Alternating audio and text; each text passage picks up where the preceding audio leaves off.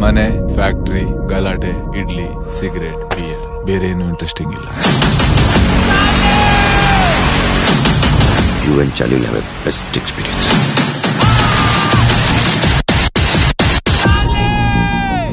every dog has its today today's Charlie's